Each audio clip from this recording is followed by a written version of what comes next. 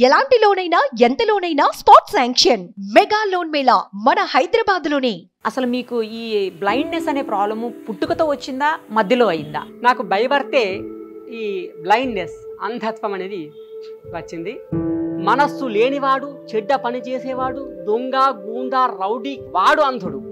కానీ మంచి పని చేసే మనసున్న ప్రతి వ్యక్తి అంధుడు కాదు. నువ్వు టీచింగ్ ఒక పనికి రావు నువ్వు అంధుడివి అని స్వయంగా అని అవమానించాడు. ఇంకా ఇప్పటికీ ఇలాంటి వాళ్ళని అవమానించడం అనేది ఉందా సార్? నాకు అది అర్థం కావట్లేదు అసలు. అవమానిస్తున్న రవాణాలు జరుగుతున్నాయి. జీతా జిసుకేలియే जिसके लिए जिसके लिए मरता था ఎవరినైనా ప్రేమించారా అవును నేను సింగర్ అయిన అమ్మాయిని ప్రేమించాను ఆ అమ్మాయి మరణించింది కూడా మీకు అమ్మా నాన్నగారు కుటుంబము అంతా ఉందా అంటే అంటే మీరు అక్క- మ్యారీడా కాదా నేను మ్యారీడ్ మా ఆవిడ కూడా హ్యాండిక్యాప్డే తల్లిదండ్రి కూడా నన్ను ద్వేషించారు. నేను అంధుడి తల్లిదండ్రులు కూడా దేశించారా మా మరదలు కూడా నన్ను ద్వేషించింది. నువ్వు అవిటి వాడు నేను పెళ్ళి చేసుకోనని.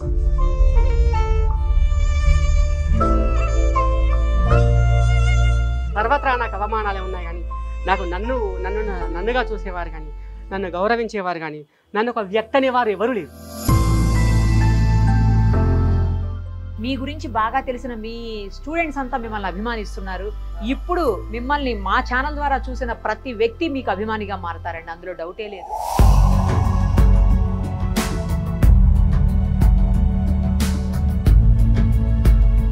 సార్ మామూలు లెక్చరర్స్ కంటే ఎక్కువ ఎఫర్ట్స్ పెడతాడు.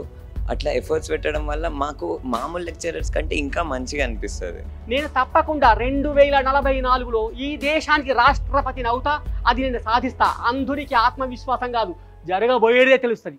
ఏదైనా అవయవ లోపం ఉంది అంటే ఇంకా మనం ఏం చేయగలుగుతాం? మనం ఏం ముందుకు వెళ్ళగలుగుతాంలే అని నిరాశ నిస్పృహలకు గురవుతూ ఉంటారు చాలామంది. అలాంటి వాళ్ళందరకు ఏం లేదు. మనం కూడా ఎవ్వరికి ఎందులోనూ ఏ విషయంలోనూ తక్కువ కాదు అని నిరూపించేలాగా లింగంపల్లి నరసయ్య గారు. స్టూడెంట్స్ అందరికీ భావి భారత పౌరులను తీర్చిదిద్దేటువంటి ఒక గొప్ప వృత్తిని బాధ్యతాయుతంగా ఎక్కడా తగ్గకుండా ఆయన ముందుకు తీసుకెళ్తుంటే నాకు చాలా బాగా అనిపిస్తోంది. అందుకే ఫస్ట్గా ఆయనకు ఒకసారి హ్యాట్స్ ఆఫ్ చెప్తూ ఇంటర్వ్యూ స్టార్ట్ చేద్దాం. సార్ నమస్తే అండి. నమస్కారం మేడం. నాకు బాగా అనిపిస్తుంది సార్ మిమ్మల్ని చూస్తుంటే ఎందుకంటే ఇన్స్పిరేషనల్ పర్సనాలిటీ మీరు. ఎప్పటి నుంచి మీరు ఈ వృత్తిలో ఉన్నారు? అసలు మీకు ఈ బ్లైండ్నెస్ అనే ప్రాబ్లము పుట్టుకతో వచ్చిందా మధ్యలో అయిందా? ముందుగా నా నేమ్ చెప్తాను. ఆడియన్స్ కొరకు. నా పేరు డాక్టర్ లింగంపల్లి గంగా నర్సయ్య. సో మా మమ్మీ పేరు లక్ష్మి మా ఫాదర్ పేరు రాజారాం. ఓకే. నాకు భయపడితే ఈ బ్లైండ్నెస్ అంధత్వం అనేది వచ్చింది.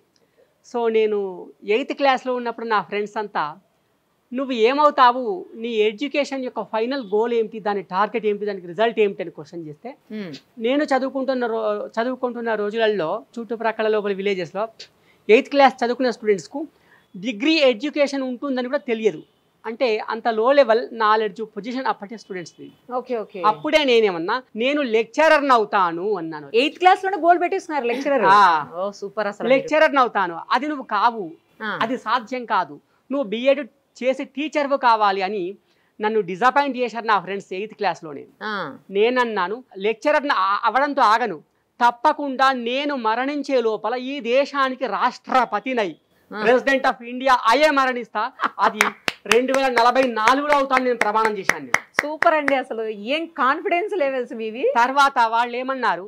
నీవు అంధుడి పాఠం ఎలా చెప్తావు అంటే నేనన్నా. మనస్సు లేనివాడు చెడ్డ పని చేసేవాడు దొంగ గూండా రౌడీ టెర్రరిస్టు వాడు అంధుడు. కానీ మంచి పని చేసే మనస్సున్న ప్రతి వ్యక్తి అంధుడు కాదు ఎగ్జాక్ట్లీ అని నేను వాదించాను. అంటే దానికి ఒక ఎగ్జాంపుల్ చూపెట్టానన్నారు. అంటే నేనేం చేశాను. నేను ఇంటర్మీడియట్లో ఉన్నప్పుడు స్టూడెంట్స్ యొక్క సమస్యలపైన ఉద్యమించి మ్. గర్ల్స్కి ఆగిపోయిన స్కాలర్షిప్స్ నేను రిలీజ్ చేయించాను నేను వావ్ ఏది యునైటెడ్ ఆంధ్రప్రదేశ్ లోపలి కరీంనగర్ జిల్లా లోపలి వేములవాడలో గల శ్రీ రాజరాజేశ్వర సంస్కృత డిగ్రీ కళాశాలలో నేను ఆ పనిచేశాను ఇంకా చాలా మంది స్టూడెంట్స్కు స్కాలర్షిప్స్ అనేవి ఆ కళాశాల హిస్టరీలోనే లేవు. కానీ నేను వాటిని ఫస్ట్ ఆఫ్ ఆల్ ఎస్టాబ్లిష్ చేయించి అవి వాళ్ళకి ఇంప్లిమెంట్ చేయించి స్కాలర్షిప్స్ ఇప్పించాను గ్రేట్ అసలు మీరు. తర్వాత రెండు వేల పద్దెనిమిదిలో నేను ఇక్కడ లెక్చరర్గా జాయిన్ కావడం జరిగింది. దానికి ముందరండి దానికి ముందు నేను ఉస్మానియా యూనివర్సిటీలో two thousand four six academic year మధ్యలో నేను సంస్కృత్ పీజీ చేశాను. తర్వాత టూ థౌజండ్ సిక్స్టీన్లో నేను పిహెచ్డి కంప్లీట్ చేశాను. సో ఇది విషయం. అయితే నన్ను అంధుడని సమాజం అవమానించింది. నాకు చదువు చెప్పిన ప్రొఫెసర్ నీలకంఠం సార్ అని ఒక సార్ ఉన్నారు. అంటే ఆయన మా Osmania university arts college retired professor. Okay okay. ఆయన అంధుడివి నువ్వేం చదువు చెప్తావురా? నీకు పీడిఎఫ్ పోస్ట్ డాక్టరేట్ ఫెలో ఎందుకురా? అని అవమానింపజేశారు. ఆయన నాకు వచ్చిన యూజీసీ పోస్ట్ డాక్టరేట్ ఫెలో అనే ఒక హయ్యర్ క్వాలిఫికేషన్ అడ్మిషన్ ఏదైతే ఉందో అది రాకుండా అంధుడు అనే ఫార్స్ ఫాల్ట్తో క్యాన్సల్ చేయించాడు ఆయన. లో టూ థౌజండ్ సెవెంటీన్ ఎయిటీన్ మధ్యలో. ఈ దగ్గర రోజుల్లోనే ఇది? ఆ- నీలకంఠం సారి ఏం చేశారంటే ఇదే హైదరాబాద్లో ఒక ఎయిడెడ్ కాలేజ్ అయిన ఆ కాలేజీలో ఒక ఇంటర్వ్యూ జరిగితే నాకంటే తక్కువ పర్సంటేజ్ నాకంటే తక్కువ సంస్కృత నాలెడ్జ్ అసలు సంస్కృత నాలెడ్జే లేని క్యాండిడేట్ను ఆ ప్రొఫెసర్ నీలకంఠం సార్ తన పలుకుబడితో అతన్ని ప్రొఫెసర్గా అపాయింట్ చేయించి నువ్వు టీచింగ్కు పనికిరావు నువ్వు అంధుడివి అని స్వయంగా అని అవమానించాడు. అంధులను అవమానించేవారే కాదు అంధులను మోసం చేసేవారు ఉన్నారు వికలాంగులను అవమానించేవారు ఉన్నారు వికలాంగులను దెబ్బతీసేవారు ఉన్నారు వాళ్ళ పురోగతిని అడ్డుకునేవారు ఉన్నారు ఇదే నిజాం కళాశాలలో professor Narayana sir last year ఇక్కడ ఎక్స్ ప్రిన్సిపల్గా పనిచేశారు. ఆయన నేను అంధుడినైన పాపానికి నేను ఆన్లైన్ క్లాసెస్ చెప్తున్నందుకు నా మీద ఉన్న వ్యక్తిగతమైన కక్షతో పగతో ఆయన ఆన్లైన్ క్లాసెస్లో నాకు టెక్నికల్ ప్రాబ్లం కలిగించి ఆయన ఇరవై వేల రూపాయల నా సాలరీని కట్ చేయించాడు. అందులను ఓయ్ ద్వేషిస్తారు అనేది ఇది ఒక పెద్ద ఎగ్జాంపుల్. దానికి ఈ కళాశాల విపి మేడం రంజని మేడం గారు సహాయం చేశారు. ఆ విషయానికి ఈ కాలేజ్ కాలేజీలో పనిచేసే కాంట్రాక్ట్ ఆ ప్రొఫెసర్గా ఉండే డాక్టర్ దీకొండ తిరుపతి సార్ గారు కూడా దానికి సహాయం చేశారు. వీళ్ళు ముగ్గురు అంధుడినైనా నా మీద పగ తీర్చుకున్నారు. సో. నాకు ఎన్నో అవమానాలు కలిగించారు. ఎన్నో అవరోధాలు ఈ కాలేజీలో కలిగిస్తున్నారు. ఎన్నో సమస్యలు తెస్తున్నారు. కానీ స్టూడెంట్స్ మాత్రం దేవుళ్ళైనని కాపాడారు. గ్రేట్ అండి. నేను ఒక్క విషయం చెప్తే వాళ్ళు వంద విషయాలు అర్థం చేసుకుంటారు. ఒక లెక్చరర్ అనేట ఆయన సాలరీ కోసం పనిచేయడం కాదు. విద్యార్థులకు జ్ఞానాన్ని ఇవ్వాలి. తర్వాత వాళ్ళు పెద్దవాళ్ళై ఆ జ్ఞానంతో వాళ్ళకి వాళ్ళు బ్రతికే స్థితిని వాళ్ళు కలిగించుకొని వాళ్ళ కాళ్ళపైన వాళ్ళు నిలబడగలగాలి. అలా విద్యార్థులు వాళ్ళ కాళ్ళపైన వాళ్ళు నిలబడగలిగేలా ముందే విజ్ఞానం అందిస్తే ఆ విజ్ఞానంతో విద్యార్థులు వాళ్ళ కాళ్ళపైన వాళ్ళు నిలబడే బ్రతుకుతూ వాళ్ళు జీవిస్తూ ఉండాలి. అంటే ఒక విద్యార్థి చెప్పిన పాఠంతో దేశం మొత్తం నిల- నిలబడాలి కానీ పడిపోకూడదు. అవును. మరి బండలు కొట్టే వాడు చావుని లెక్కించక బండలు కొడతాడు. ఆ బండ వాడు తలపైన కొడితే వాడు చనిపోతాడు. అయినా వాడు పని చేస్తాడు. సోల్జర్ ఫైట్ ఫైట్ చేస్తాడు. వాడు చనిపోతాడు ఆ బాంబుల మధ్యలో పడి. అది తెలిసి వాడు పని చేస్తాడు. మరి నీడకుండి చదువు చెప్పే టీచర్లు లెక్చరర్లు వాళ్ళు బాధ్యతలు చక్కగా నిల- నెరవేర్చడం లేదు. కాలేజెస్కు వాళ్ళు ఎగబెడుతున్నారు. ఒక లెక్చరర్ కాలేజీకి రాకపోతే ఒక స్టూడెంట్ కాలేజీకి రాడు. దాంతో కాలేజ్ అంతా ఆబ్సెంట్ అయి ఆబ్సెంట్ అయిపోతుంది. తద్వారా ఎడ్యుకేషన్ అందదు. కనుక ముందుగా గుర్రం నడిపే రౌతు బలంగా ఉంటే గుర్రం మంచిగా నడుస్తుంది. లెక్చరర్ బలంగా ఉంటే స్టూడెంట్స్ బాగుపడతారు. కనుక ముందు ఈ టీచర్స్ బాగుపడాలి పెద్దవాళ్ళుగా అని నా ఒపీనియన్. చాలా బాగా చెప్పారు. ఇంకా ఇప్పటికీ ఇలాంటి వాళ్ళని అవమానించడం అనేది ఉందా సార్? నాకు అది అర్థం కావట్లే అసలు. అవమానిస్తున్నారు అవమానాలు జరుగుతున్నాయి. కొందరు బ్లైండ్స్ అయిన స్టూడెంట్స్కు ల్యాప్టాప్స్ కూడా గవర్నమెంట్ ఇచ్చినవి కాలేజెస్లో ప్రిన్సిపల్స్ ఇవ్వక అమ్ముకుంటున్నారు. బ్లైండ్స్ అయిన వారికి హ్యాండిక్యాప్డ్స్ అయిన వారికి. కొంతమందికి పెన్షన్స్ ఇవ్వడం లేదు. రీసెంట్గా ఒక న్యూస్ విన్నాం టీవీలో. ఒక హ్యాండ్ క్యాప్డ్ ఎవరో కుంటే ఆయన పెన్షన్ ఇవ్వండి అని ఒక పొలిటికల్ డయాస్ దగ్గరికి వెళ్ళి ఎమ్మెల్యేస్నో ఎంపీస్ను అడిగితే ఆ ఎమ్మెల్యేనో ఎంపీ ఆయన ఎవరో ఆయన కాలుతో తన్నాడట. దాని మీద ప్రభుత్వం ఇంతవరకు యాక్షన్ తీసుకోలేదు. నేను అంధుడినైన పాపానికి నాకు ఇంతవరకు గవర్నమెంట్ యునైటెడ్ ఆంధ్రప్రదేశ్లో నాకు ఏది సర్టిఫికేట్ ఇవ్వాలి అంటే డాక్టర్ సంతకం లేని సర్టిఫికేట్ నాకు ఇచ్చారు. డాక్టర్ సంతకం పెట్టకుండా నువ్వు హ్యాండిక్యాప్ నాకు సర్టిఫికేట్ ఇచ్చారు. దాంతో నేను చాలా ప్రాబ్లమ్స్ ఫేస్ చేశాను. ఇప్పటికి కూడా నాకు డాక్టర్ సంతకం పెట్టిన హ్యాండిక్యాప్డ్ సర్టిఫికేట్ లేదు. సంతకం లేని సర్టిఫికేట్ను కూడా డాక్టర్స్ బ్లైండ్స్కి హ్యాండిక్యాప్డ్స్కి ఇస్తున్నారంటే అది దుఃఖకర విషయం అది. దారుణం అసలు. మీకు పార్షియల్లీ బ్లైండ్ అండి మీరు పూర్తి స్థాయిలో బ్లైండ్ రైట్ మేడం నేను బై బర్త్ ఫార్స్ఫల్ బ్లైండ్ అయితే నాకు ఎడమ కన్ను మొత్తమే కనబడదు. కుడి కన్ను లైట్గా కనిపిస్తుంది. అయితే ఈ మధ్యలో ఆ కుడి కన్ను కూడా కనిపించకుండా పోతుంది. దాని చూపు కూడా తగ్గిపోతుంది. అయితే అతి త్వరలో ఉన్న చూపు కూడా పోయి నేను టోటల్ బ్లైండ్ అయ్యే అవకాశం ఉందని డాక్టర్స్ చెప్పారు. అయితే దగ్గర నుంచి వచ్చే వాళ్ళు మునుపు కొంచెం దూరం నుండి కనబడేవారు. కానీ దురదృష్టం అదేమిటో కానీ ఈ కాలంలో ఇప్పుడు గడుస్తున్న కొలదిగా ఎట్లెట్లా చూపు తగ్గు తగ్గుతుంటే అట్లట్లా దగ్గరగా ఉన్న వారిలో కొద్దిగా కనిపిస్తలేరు వాయిస్తోనే నేను ఎంత ఉంటది సార్ మీ ఏజ్? మేడం నేను ఇప్పుడు ఫార్టీ వన్ ఇయర్స్ నడుస్తూ ఉన్నా. అంటే అంటే నాకు ఫార్త్ ఇయర్స్ ఉందన్నమాట నా ఏజ్. మీకు అమ్మా నాన్నగారు కుటుంబము అంతా ఉందా అంటే మీరు మ్యారీడా కాదా? నేను మ్యారీడ్. మా ఆవిడ కూడా హ్యాండిక్యాప్డే. ఆవిడకి ప్రాబ్లం ఆమెకు రైట్ లెగ్ ప్రాబ్లం ఐస్ బానే ఉంటాయి? ఐస్ బాగానే ఉంటాయి. నాకు పాప బాబు వాళ్ళు బోత్ ఆర్ వెల్ వాళ్ళకి వాళ్ళు ఎటువంటి డిజేబిలిటీ? లేదు. పాప థర్డ్ క్లాస్ బాబు ఫైవ్ ఇయర్స్ బాబు ఆడుకుంటున్నాడు. సో అత్తవారి మూలంగా బావమరల మూలంగా కూడా నేను అంధుడిని అనే ఫార్స్వాలిటీ గురైన. మా బావమరిది నన్ను అంటే నా కుడి కన్ను కొద్దిగా కనిపిస్తుందని చెప్పాను. ఆ కుడి పన్ను కుడి కన్ను పైన నా మీద జలసితో నన్ను కొట్టాడు. అరే! కొట్టడం చేత ఆ చూపు తగ్గుతుంది. లేకపోతే ఆ చూపు అది కూడా ఉండేది. బావమరిదైన వాడు కూడా నన్ను నన్ను ద్వేషించాడు. ఎందుకు ద్వేషించాడంటే నేను డబ్బు సంపాదిస్తుంటే ఆ డబ్బును దోచుకోవడానికి నన్ను ద్వేషించాడు నన్ను దెబ్బతీశాడు. అతడు కొట్టిన ఆ ఆ దెబ్బ పైన ఆ దెబ్బ కారణంగా నా కుడి కన్ను కనిపిస్తుంది అది కూడా పోతుంది ఉన్న చూపు. సో బావమరిదైన వాడు కూడా ద్వేషించాడు. ఇక బయట సమాజం ఎలా ఉంటుంది? తల్లిదండ్రి కూడా నన్ను ద్వేషించాడు. నేను అంధుడిని. తల్లిదండ్రులు కూడా దేశించారు మా మరదలు కూడా నన్ను ద్వేషించింది. నువ్వు అవిటి వాడు నేను పెళ్ళి చేసుకోనని. అవిటి అమ్మాయిని చేసుకోరా? నేను కావలసి వచ్చానా అని మా ఇద్దరు మరదలు కూడా నా మీద దుమ్మెత్తిపోశారు మేడం. తల్లిదండ్రులు ఎట్లా అండి నాకు అది అర్థం తల్లిదండ్రి కూడా నన్ను ద్వేషించారు. తల్లిదండ్రి కష్టాలలో ఉంటే కొడుకు కాపాడడం అది కరెక్ట్ రైట్ కరెక్ట్. కానీ తల్లిదండ్రే తప్పు చేసి ఆ తప్పులను కొడుకే నేను చేసినాను ఒప్పుకోవాలి అని అంటే అంటే తల్లిదండ్రి ఫర్ ఎగ్జాంపుల్ మిస్టేక్ చేసి ఆ తప్పు నువ్వు చేసినావు అని సమాజంలో ఒప్పుకో అని అనకూడదు. ఆ విధంగా వాళ్ళు చేసిన మిస్టేక్ సోషల్ మిస్టేక్ నా పైన వేశారు. సో దాని మూలంగా నాకు జైలు శిక్ష పడే ప్రమాదం వచ్చింది. దానితో నేను ఇటువంటి దారుణానికి నేను ఒడిగట్టలేను. సో తల్లిదండ్రులుగా మిమ్మల్ని నేను కాపాడుతాను.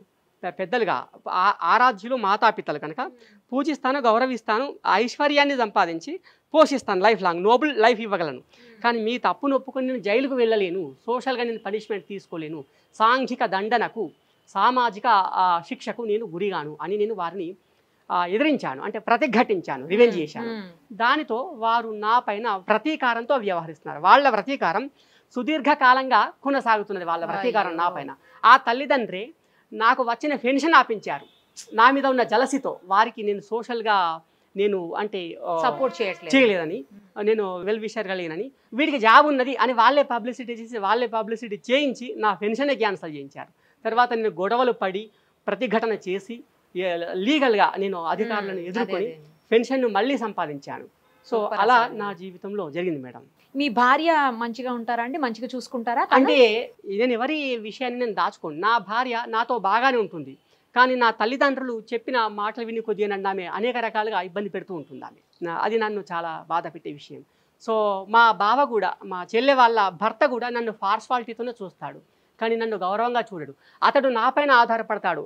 ఇది డ్రింకింగ్ కానీ సమ్ అమౌంట్ కానీ దేనికైనా. అతడు కూడా వస్తున్నప్పుడు పోతున్నప్పుడు రోడ్డు పైన నన్ను పడగొట్టి చంపే ప్రయత్నం చేశాడు బిఫోర్ మై మ్యారేజ్. కానీ బైగుడ్లకు నేను ఇలాగో బ్రతి నేను బయటపడ్డాను. సర్వత్రా నాకు అవమానాలే ఉన్నాయి కానీ నాకు నన్ను నన్ను నన్నుగా చూసేవారు కానీ నన్ను గౌరవించేవారు కానీ నన్ను ఒక వ్యక్తి అనేవారు ఎవరు లేరు. అసలు మిమ్మల్ని గౌరవించని వాళ్ళు గాని ఆ, లేకపోతే మిమ్మల్ని వ్యక్తిగా చూడలేని వాళ్ళు గాని ఆ, లేకపోతే మిమ్మల్ని అవమానించి అవహేళన చేసే వాళ్ళని గాని ఆ. మనుషులుగా చూడకూడదండి ఫస్ట్ ఆఫ్ ఆల్ అది కానీ గుర్తుపెట్టుకోండి సార్ మీరు. కానీ వాళ్ళని ప్రతిఘటించలేకపోయాను. కాకపోతే నేనేమిటంటే చెడ్డవాడిని కొట్టకుండా తిట్టకుండా వాడిని వదిలిపెట్టాలి. వాడితో గొడవ పడితే అది మనకు చెడు కావచ్చు లేదా మనం వాడితో గొడవ పడితే మనకు చెడు కావచ్చు. అందుకే చెడ్డవాడితో గొడవ పడకుండా వాడిని విడిచిపెట్టాలి అని పెద్దలు అన్నారు మీ గురించి బాగా తెలిసిన మీ స్టూడెంట్స్ అంతా మిమ్మల్ని అభిమానిస్తున్నారు. ఇప్పుడు మిమ్మల్ని మా ఛానల్ ద్వారా చూసిన ప్రతి వ్యక్తి మీకు అభిమానిగా మారతారండి. అందులో డౌటే లేదు. నేను నాకు జరిగిన ఇంకొక అవమానం. రాజకీయంగా నాకు అవమానమైంది. నా ఫ్రెండ్స్ ఎవరైతే ఉన్నారో వాళ్ళ కళ్ళు ఉన్నాయని వాళ్ళకి టికెట్స్ ఇచ్చారు. వాళ్ళు ఎలక్షన్స్లో ఓడిపోయే పొజిషన్లో ఉన్న వాళ్ళకి టికెట్స్ ఇచ్చారు. కానీ అంధుడిని అని నాకు టికెట్ ఇవ్వాలి నేను అడిగాను నేను చదువుకున్న రోజులలో. నువ్వు అంధుడివి నువ్వేం చేస్తావని. అంటే మరి మనసు ఉండి పదవుల లోపలికి వెళ్ళి పరిపాలన చేయడం చేత కాని వాళ్ళు వాళ్ళు వాళ్ళు సరైన నాయకులు ఎట్లవుతారు? వాళ్ళు అంధులు అవుతారు చేత కాకుండా వాడు పాలకుడు కావచ్చు వాడి కన్నుడ కారణంగా. కానీ చేతనైనా కూడా నేను నాయకుడిని నాయకుడిని ఎందుకు కాకూడదు? నాకు టికెట్ ఇవ్వమంటే నాకు అసలు ఏ పార్టీ నాకు టికెట్ ఇవ్వలేదు. నా ఫ్రెండ్సే స్టూడెంట్ ఆర్గనైజేషన్స్ ఉన్నప్పుడు నన్ను అవమానించారు. నీకెందుకురా టికెట్ అని? నన్ను అట్లా అవమానించిన వాళ్ళు చాలా మంది ఉన్నారు. సో అవమానాలే జీవితంగా మారి మీరు ఇవాళ ఈ స్టేజ్ ఉన్నారు ఎటువంటి అవమానం వచ్చినా దానిని మనం ఎదుర్కొంటూ ముందుకు వెళ్ళాలి కానీ దానిని చూసి మనం భయపడి వెనుకకు పోవద్దు. వెనుక వెళితే శత్రువులు ఇంకింత మనలను బలహీనపరుస్తారు. అంటే నిర్వీర్యపరుస్తారు అని నేను భావించాను. నాకే కాదు గొప్ప గొప్ప వాళ్ళకందరికీ అవమానాలు జరిగాయి. అవును. సో అవమానాలను వాళ్ళు లెక్క చేయకుండా ఎదుర్కొంటూ వాళ్ళు ముందుకొచ్చారు. సీఎం కేసీఆర్ను స్టార్టింగ్లో తెలంగాణ మూవ్మెంట్ చేయడానికి వచ్చినప్పుడు ఆయనను కొడితే ఆయన పారిపోయాడు పాపం. కానీ ఆయనకు అటువంటి అవమానాలు ఎన్నో జరిగాయి. ఆయన చెప్పులతో కూడా కొట్టా కొట్టారు ఉస్మానియా యూనివర్సిటీలో. కానీ అవమానాన్ని చూసి సీఎం కేసీఆర్ భయపడలే. ఆత్మస్థైర్యంతో నాకు ఇది సన్మానం అనుకున్నాడు. వాళ్ళ చెప్పుల బండల రాళ్ళ దెబ్బల వర్షం ఇది నాకు పుష్పవృష్టి సన్మానం అని భావించాడు. కానీ ఇవాళ ఆయన సీఎం అయ్యాడు. ఎప్పుడు కూడా అవమానించబడ్డవాడు ఎప్పుడు చెడిపోడు. కానీ అవమానించిన వాడే చెడిపోతాడు. ఎవరైతే మిమ్మల్ని అవమానించారో వాళ్ళందరికంటే మంచి పొజిషన్లో వేల మంది స్టూడెంట్స్ మీ గురించి ఎంతో గొప్పగా చెప్పేటువంటి పొజిషన్లో మీరు ఉన్నారు సార్ ఈరోజు. నేను దాన్ని నా విజయంగా నేను ఎప్పుడు భావించడం లేదు. నన్ను ఈ స్థితికి తెచ్చిన ఒక మహనీయుడు ఆయన నేను స్మరిస్తున్నాను. ఎవరండి ఆయన? English teacher Veeragoni Anjaneyulu Goud sir. ఆయన ఆయన? ఇప్పుడు రాజన్న సిరిసిల్ల జిల్లాలోని వేములవాడ ఆ సిటీలో ఆయన ఉంటున్నారు. రిటైర్డ్ ఇంగ్లీష్ టీచర్ ఆయన. ఓకే. సో ఆయన నన్ను ఈ స్థితికి తీసుకొచ్చారు. తల్లిదండ్రి పట్టించుకోకపోయినా మిత్రులు ఎవరినైనా గౌరవించకపోయినా. ఆయన ఇంగ్లీష్ టీచర్ అయిన కూడా నాకు Hindi English Sanskrit three languages నేర్పి నన్ను ఒక స్థితికి తీసుకొచ్చారు. ఒక మాట అడిగారు. నర్సయ్య నేను నా సోషల్ పొజిషన్ ఫైనాన్షియల్ పొజిషన్ బాగాలేక టీచర్ని అయ్యాను నాకు ఒక మాట ఇవ్వు అని అన్నారు. "ఆ, మీకు వాగ్దానం చేస్తున్నా. ఆ ఇచ్చిన మాట నేను నిలబెట్టుకుంటా. అడగండి అని అన్నా. లెక్చరర్ని అవుతానని వరకట్నం తీసుకోకుండా పెళ్ళి చేసుకుంటానని మాట ఇవ్వాలి అని అన్నారు. లెక్చరర్ అయ్యారు. వరకట్నం తీసుకోకుండా వరకట్నం చేసుకున్నారా తీసుకోకుండా పెళ్ళి చేసుకున్నా లెక్చరర్ అయి కూడా చూపెట్టాను. ఆయన అడగకుండానే ఒక ఒక మాట ఇచ్చాను. ఒక లెక్చరర్ పదవి ఏమిటి సార్? నేను దేశానికి అధ్యక్షుడిని అవుతా సార్. మీరు మీరు ఎందుకు బాధపడుతున్నారు. నేను పోయిన తర్వాత మీ పేరు ఉంచుతా. అలెగ్జాండర్ అరిస్టాటిల్ పేరు నిలిపినట్లుగా నేను మీ పేరు నిలుపుతా. English teacher Veeragoni Anjaneyulu Goud sir యొక్క స్టూడెంట్ రాష్ట్రపతి అయినాడు అనే విషయాన్ని కూడా నేను సమాజానికి చాటి చెప్పుతా. ఆ టీచర్ బ్లైండ్ క్యాండిడేట్ను దేశానికి అధ్యక్షుణ్ణి చేశాడు అని ప్రపంచమంతా చెప్పుకునేలా మీ ఖ్యాతిని వ్యాపింపజేస్తా అని చెప్పిన. ఇప్పుడు కూడా ప్రమాణం చేసి చెప్తున్నా. నేను తప్పకుండా రెండు వేల నలభై నాలుగులో ఈ దేశానికి రాష్ట్రపతిని అవుతా అది నేను సాధిస్తా. అంధుడికి ఆత్మవిశ్వాసం కాదు. జరగబోయేదే తెలుస్తుంది. మాంసంతో రక్తంతో తయారైన కంటితో అందరు చూస్తారు. కానీ అంధులు ఆత్మతో మనస్సుతో చూస్తారు. అది నా పవర్ అని నేను చెప్తున్నాను madam. Must I can become president of India with in that decided period madam. అమ్మ బాబోయ్ ఏంటండి అంత కాన్ఫిడెన్స్ అసలు ఇంత కాన్ఫిడెంట్గా ఉన్నారు మీరు అసలు? ఔషధానాం సుమంత్రాణం బుద్ధేశ్చైవ మహాత్మనాం అసాధ్యం నాస్తి లోకేత్ర బ్రహ్మాండస్య చ మధ్యగం. ఔషధాలకు మరియు గొప్ప ఆలోచనలకు గొప్ప జ్ఞానమున్న మహాత్ములకు మరియు వివేకవంతులైనటువంటి వ్యక్తులకు జ్ఞానులకు ఈ బ్రహ్మాండములోనే అసాధ్యం లేదు. భూమి మీద కాదు. బ్రహ్మాండంలోనే అంటే గెలాక్సీస్లోనే అసాధ్యం అనేది లేదు అనే విషయం ఒక శ్లోకంలో చెప్పబడింది. అది నిజం కాబట్టే వాళ్ళు చెప్పారు. బల్బు వెలుగుతుందనే విషయం థామస్ అల్వా ఎడిసన్కు సూత్రాలలో ఉన్న విషయాన్ని బట్టి బల్బు కనిపెట్టవచ్చని తెలిసిపోయింది. ఈ శ్లోకంలో చెప్పబడ్డ ఆ విషయాన్ని బట్టి నేను తప్పకుండా ఇండియన్ ప్రెసిడెంట్ అవుతా అనే విశ్వాసం నాకుంది. ప్రెసిడెంట్ పదవి సాధించడం చాలా చిన్న విషయం నాకు అది వేరే వాళ్ళకి చాలా గొప్ప విషయం కావచ్చు. నాకు మాత్రం ఒక ఎగ్జామ్ రాసి పాస్ అయ్యే విషయం కంటే కూడా చిన్న విషయం. ఇతర గ్రహాలకే పోయి వస్తున్నారు. అవును. ఆయన అమెరికా లోపల ఏదో యూనివర్సిటీలో ఆయన ప్రొఫెసర్ ఆయన ఏం చెప్పాడు? సూర్య నక్షత్రాన్ని కొద్దిగా అటు జరిపి మనము ఖగోళ పరంగా మనకున్న సమస్యలు పరిష్కరించుకోవచ్చు అని చెప్పాడట. సూర్య నక్షత్రాన్ని జరపవచ్చు అని చెప్పాడట ఆయన. అది ఎలా సాధ్యమవుతుందని చెప్పాడు ఆయన? ఉందే చెప్పాడు. అది కూడా జరపబడుతుంది సాధ్యం అవుతుంది మనం తలుచుకుంటే కానిది ఏది లేదంటారు. అందుకే యోగి వేమన గారు అన్నారు అనగననగ రాగమతిశయిల్లు చుండు తినగ తినగ వేము తీయనుండు సాధనమున పనులు సమకూరు ధరలోన విశ్వదాభిరామ వినురవేమ అంటే యోగి వేమన గారు ఎప్పుడో చెప్పారు పదహారు పదిహేడు శతాబ్దాల మధ్యకాలంలో. ఏమని? మనము సాధించలేని పని అనేది ఏది లేదు ఈ ప్రపంచంలో.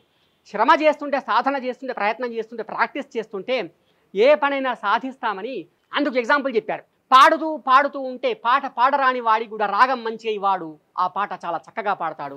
అలా పాడే ప్రయత్నం చేసేవాడి వాడి రాగం అభివృద్ధి అయి వాడు పాటను చాలా చక్కగా పాడతాడు. తింటూ తింటూ తింటూ ఉంటే తినడానికి వీలుగా లేని చేదైన వేపాకు కూడా తినదగిన తీయటి ఒక మధురపు ఆకవుతుందని ఆయన చెప్పారు. ఇంకేమన్నారు?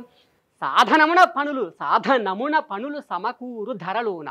మనం కష్టపడి శ్రమిస్తుంటే అభ్యసిస్తుంటే ప్రయత్నం చేస్తుంటే చెయ్యరాని ఏ పనులైనా కూడా మనము చెయ్యగలుగుతాం. మనకు ఆ పనులు చెయ్యవస్తాయి. ఆ, కృషితో నాస్తి దుర్భిక్షం జపతో నాస్తి పాతకం మౌనేన కలహం నాస్తి నభయం చాస్తి జాగ్రత్త. అంటే కృషితో నాస్తి దుర్భిక్షం. అంటే కష్టపడి పని చేస్తుంటే ప్రయత్నం వలన సాధ్యం కాని పని అనేదే లేదు. జపతో నాస్తి పాతకం. అంటే మనం జపము చేస్తుంటే ధ్యానం చేస్తుంటే మనకి ఎటు- ఎటువంటి పాతకం తగలదు.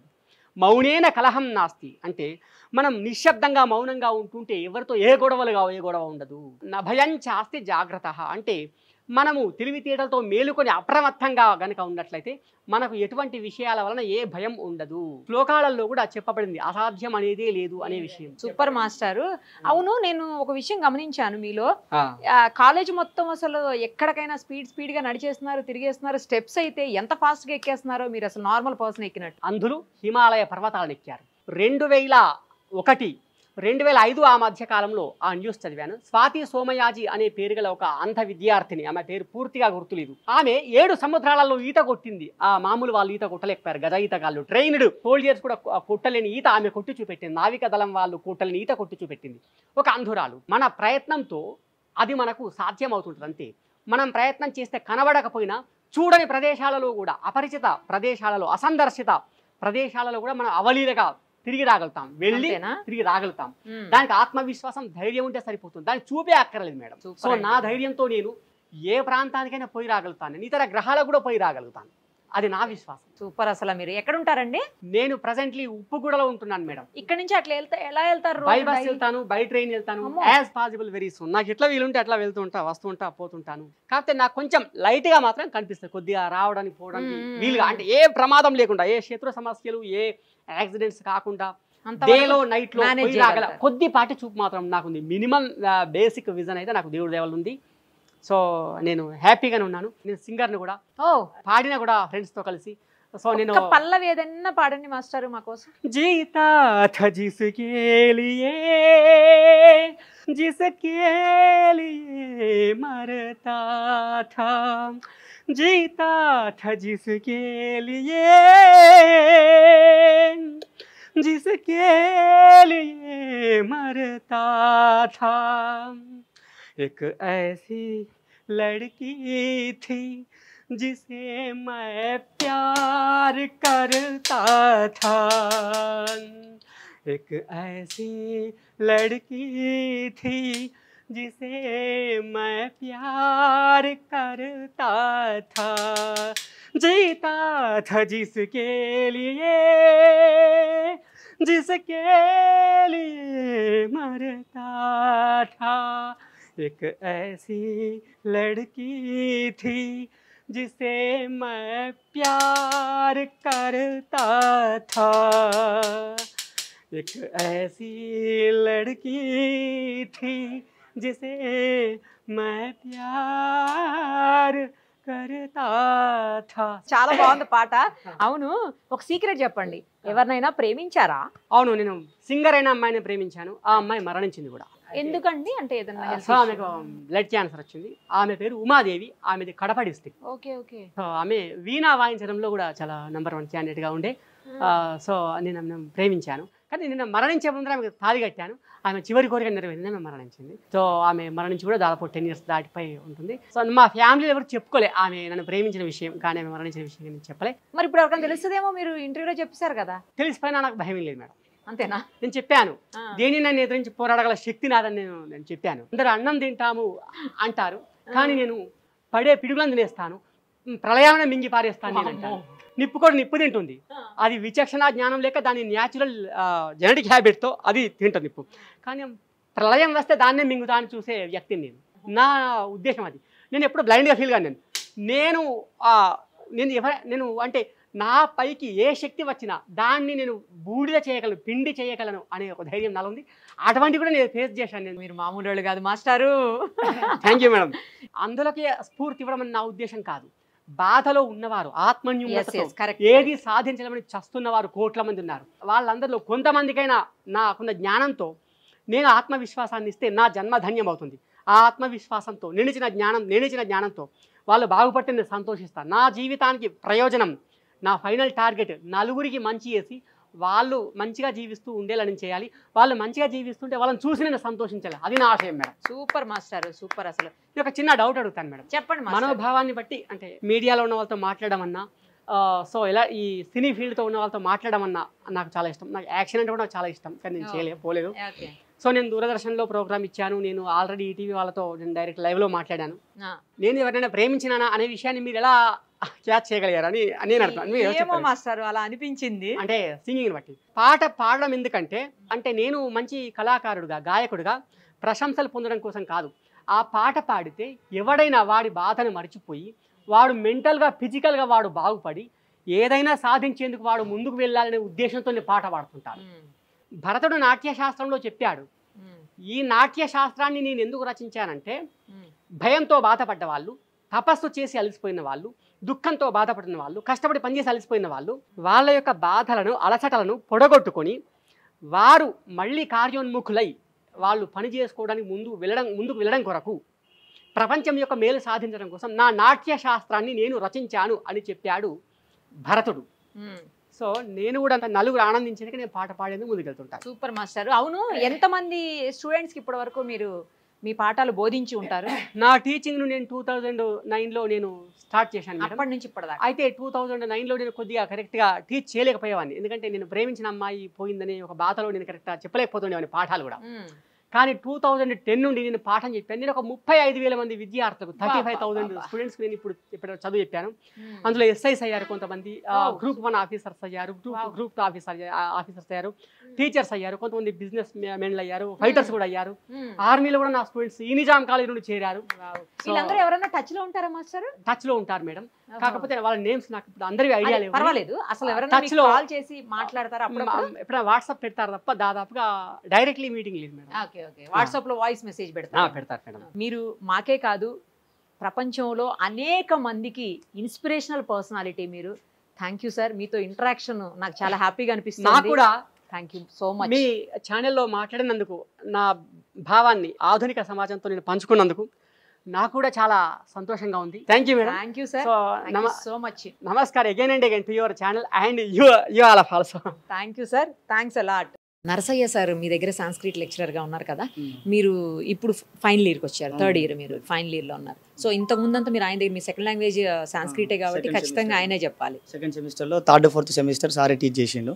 ల్యాండ్ అయినప్పుడు కూడా చెప్పే విధానంలో కావచ్చు స్టూడెంట్కి రీచ్ అయ్యే ఆ సబ్జెక్ట్ రీచ్ అయ్యే కార్నర్ అనేది క్లియర్గా ఉంటుంది అన్నట్టు అనే బోర్డు మీద రాయకపోయినా మాకు లిటరసీగా రాసి చూపెట్టకపోయినా ఆయన మాటలతో మాకు సబ్జెక్ట్ గుర్తుంటట్టు ఒక క్రియేటివ్ వేలో చెప్పడం అన్నట్టు ఒక ప్రాక్టికల్ ఎగ్జాంపుల్ తీసుకొని ఆ సబ్జెక్ట్ని ఏదైతే సాంస్క్రిట్ అంటే కొంచెం మనకు బోరింగ్ అనిపించకుండా దాన్ని కొంచెం ఇంట్రెస్టింగ్గా చేసి సబ్జెక్ట్ అనేది మనకు దగ్గరికి వచ్చేసి చెప్పే చెప్పేవాడు అన్నట్టు సార్. ఎక్కడ కలిసినా కొంచెం ఒక ఫ్రెండ్లీ ఎన్విరాన్మెంట్ ఉంటుంది సార్తో ఫ్రెండ్లీ ఎక్స్పీరియన్స్ ఉంటుంది. ఎక్కడ కలిసి మాట్లాడడం కానీ ప్రతి ఒక్కరితో బిహేవ్ చేసే విధానం కానీ ఏమైనా ప్రాబ్లం ఉందన్న సబ్జెక్టు ఎగ్జామ్ ఎక్కువ ఎక్కువ మేము క్లాస్కి రాకపోయినా ఎగ్జామ్ ముందు అంటే అట్లా వచ్చి సార్ కొంచెం అర్థమవుతలేదు అన్న కూడా ఇంపార్టెంట్ కాన్సెప్ట్ చెప్పడం కానీ చదువుకుని బెట ఇది బాగుంటాయి అని చెప్పి హెల్ప్ చేస్తారు సార్. ఆయన ఎట్లా చెప్తాడంటే ఆయన మాటలతోనే మమ్మల్ని ఒక విజువల్ ఎక్స్పీరియన్స్లోకి తీసుకెళ్తాడు. ఈరోజు సార్ ఎక్స్ప్లెయిన్ చేసినాడు దశరథ మహారాజు గురించి. అప్పుడు మేము విజువల్గా థింక్ చేస్తున్నాం సార్ చెప్పేదాని గురించి. సో ఇది చాలా కొత్తగా ఉంది ప్లస్ మాకు ఇంకా ఎక్కువ అర్థమవుతుంది. సార్ ఎఫెక్టివ్గా ఉంటుంది సార్ వే ఆఫ్ టీచింగ్ కూడా. నార్మల్ వేరే లెక్చరర్కి ఈయనకి ఏమైనా డిఫరెన్స్ అనిపిస్తుందా? సార్ మామూలు లెక్చరర్స్ కంటే ఎక్కువ ఎఫర్ట్స్ పెడతాడు. అట్లా ఎఫర్ట్స్ పెట్టడం వల్ల మాకు మామూలు లెక్చరర్స్ కంటే ఇంకా మంచిగా అనిపిస్తుంది. Sir way of teaching sir మళ్ళీ మాకు మామూలుగా ఓన్లీ ఇవే కాకుండా సబ్ సాంస్కృత్ సబ్జెక్టే కాకుండా బయట విషయాలలో కూడా మాకు అవేర్నెస్ తీసుకురావడం కోసమని ప్రయత్నిస్తూ ఉంటారు. మిగతా సోషల్ ఇష్యూస్ గురించి కూడా మాకు డీప్గా ఎక్స్ప్లెయిన్ చేస్తూ ఉంటాడు. అది కూడా చాలా మంచిగా అనిపిస్తుంది సార్ లోపల. ఆయనకి డిజబిలిటీ ఉన్నదని అసలు ఎప్పుడు తెలియనియాడు మాకు. అసలు ఆయనకి డిజబిలిటీ ఉంది కాబట్టే మాకు ఇంత మంచి టీచర్ దొరికినాడు అనిపిస్తుంది మాకైతే. క్లాస్లో అబ్బాయిలు అమ్మాయిలు అందరూ ఉంటారు కదా? ఏమన్నా సార్ని అబ్బాయిలు ఏమన్నా ఎందుకంటే ఈ ఏజ్ అంతా బాగా కొంచెం ఎంజాయ్ చేసే ఏజ్ అల్లరి చేసే ఏజ్లు కదా? డిగ్రీ అంటే. సో అట్లా ఏమన్నా ఏడిపిస్తారు ఎవరైనా మీ సార్ని? లేదు మ్యామ్ ఎవరు ఏడిపోయారు అందరు నార్మల్గా ఉంటారు. క్లాసెస్ కూడా బాగానే వింటారు అందరు. నేను చూశాను సార్ స్టెప్స్ కూడా చాలా ఈజీగా ఎక్కేసి వచ్చేస్తున్నారు ఆయనకై ఆయనే. అసలు నాకు అది చూస్తే ఆయన డిజేబుల్ అనిపించలేదు. ఐస్ ప్రాబ్లం ఉందని అనిపించలేదు అసలు నాకు. సార్ క్లాస్లో కూడా సేమ్ యాజ్ ఇట్ ఈజ్ అలానే ఉంటారు. మాకు అలా ఫెల్ట్ కూడా అవ్వదు. లైక్ సార్ డిజేబుల్ అని. And we should not call disable అని కూడా అనొద్దు. మనం పీపుల్ విత్ స్పెషల్ నీడ్స్ అని కూడా అనొచ్చు.